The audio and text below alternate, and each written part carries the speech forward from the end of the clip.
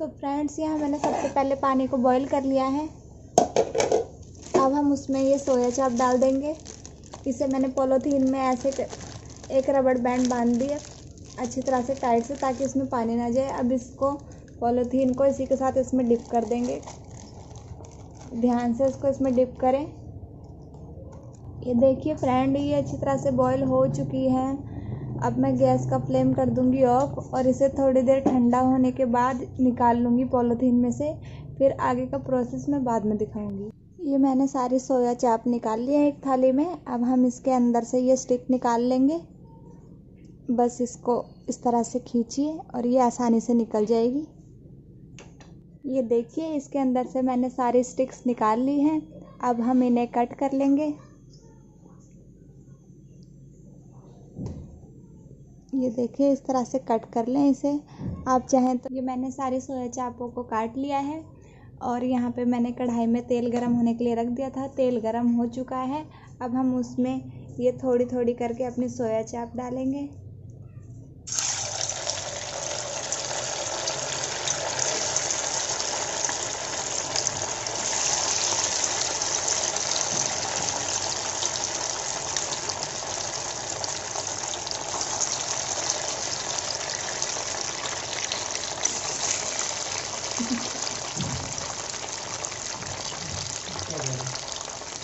मैंने एक बारी में आधी ही सोया चाप डाली है आधी हम बाद में फ्राई करेंगे।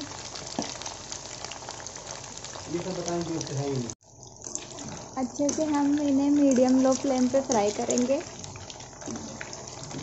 ये देखिए थोड़ा थोड़ा रंग बदलने भी लगा है।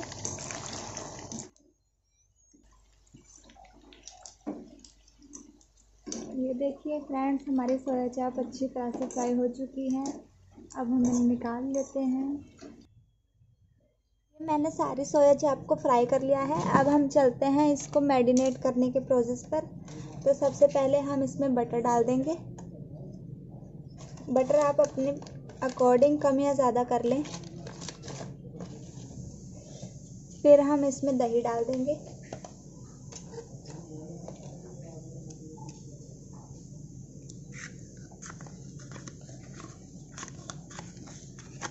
अगर आप दही की क्वांटिटी बढ़ा रहे हैं तो आप टमाटर की क्वांटिटी कम कर सकते हैं।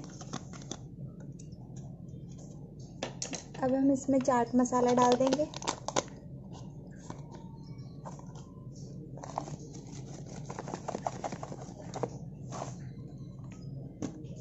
और थोड़ा सा नमक डाल देंगे।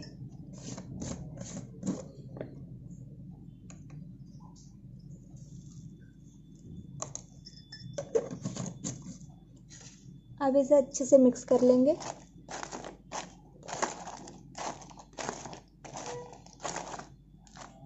अच्छे से मिक्स हो चुका है। अब चलते हैं हम इसे पकाने के प्रोसेस पर। यहाँ मैंने लहसुन, हरी मिर्च, टमाटर, अदरक और थोड़ी सी प्याज को काट लिया है। अब हम इन चारों को ग्राइंड कर लेंगे और इसको एज इट इज़ ऐसे ही यूज़ करेंगे। तेल हमारा अच्छे से गर्म हो चुका है। ये मैंने कुछ खड़े मसाले लिए हैं। अब इन खड़ा, खड़े मसाले डाल देंगे। और इसे थोड़ा सा भून लेंगे।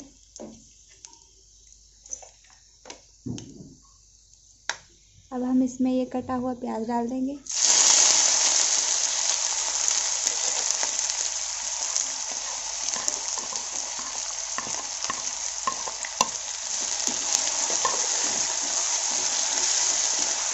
प्याज को अच्छे से फ्राई कर लेंगे, जब तक कि इसका कलर गोल्डन ब्राउन ना हो जाए।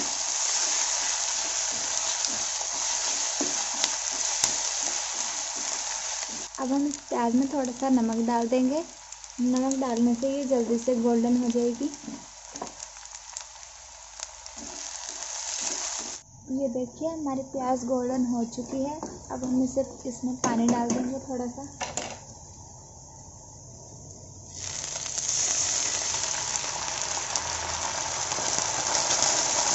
अब इसको एक पेस्ट की तरह बना लेंगे।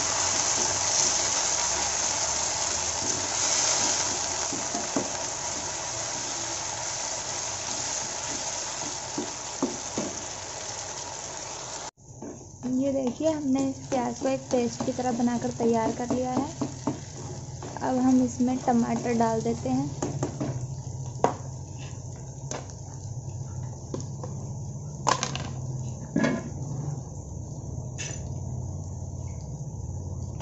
ये मैंने टमाटर और लहसुन अदरक को ऐसे ग्राइंड कर लिया है अब हम इस पेस्ट को इसमें डाल देंगे।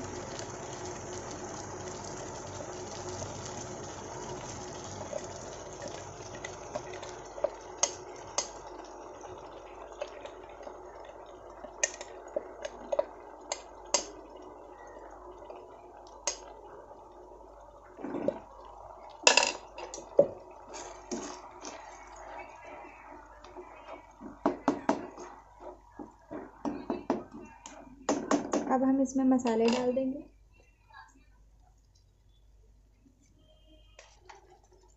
सबसे पहले हम थोड़ी सी हल्दी डालेंगे इसमें।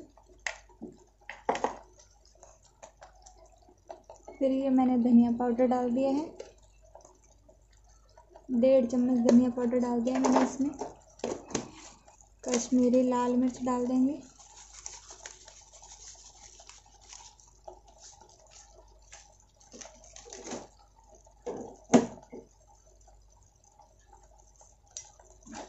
अब इसे मिक्स कर देंगे अच्छी तरह से। इतनी सारी मिर्च देख के घबराइएगा नहीं, कश्मीरी लाल मिर्च बस कलर के लिए होती है।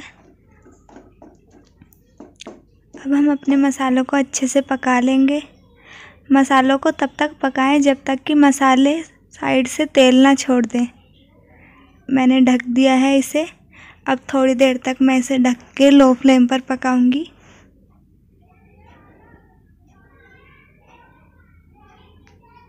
आइए हम दोबारा देख लेते हैं हमारे मसालों ने तेल छोड़ा है या नहीं। ये देखिए, थोड़ी देर तक और पकाएँगे हम इसे। मसालों ने तेल छोड़ना शुरू कर दिया है। अब हम इसमें अपनी सोया चाप डाल देंगे।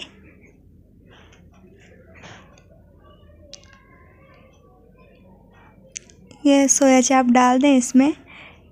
ये अच्छी तरह से मैरिनेट भी हो रखी है।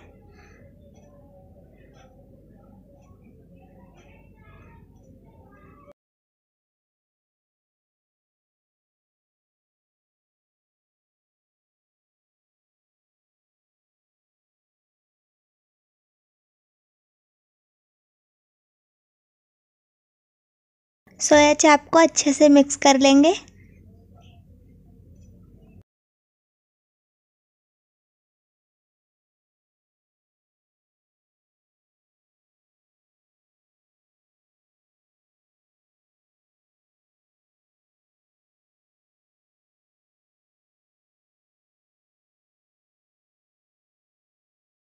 ये हमने सोया चाप को अच्छे से मिक्स कर लिया है।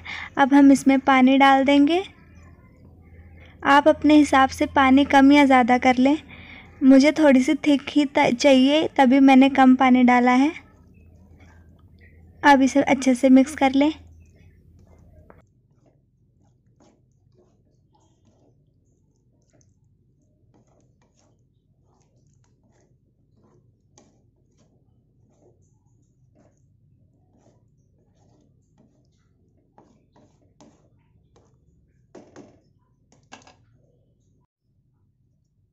अब इसे ढककर थोड़ी देर तक पकाएँगे।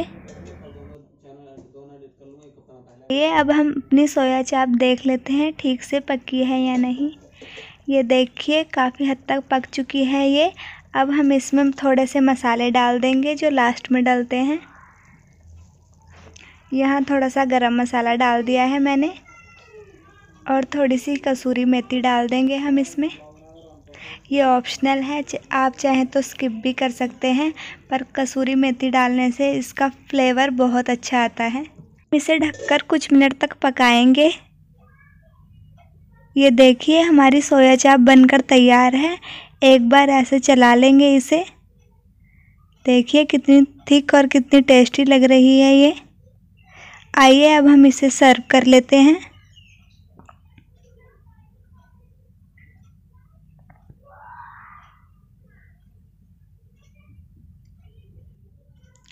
ये देखिए, सोया चाप को सर्व कर लिया है मैंने। इसके साथ मैंने रखे हैं राइस।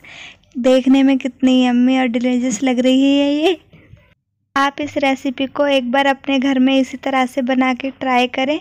आपको ये रेसिपी बहुत पसंद आएगी। यकीन मानिए फ्रेंड्स, बहुत अच्छा बनकर तैयार होता है।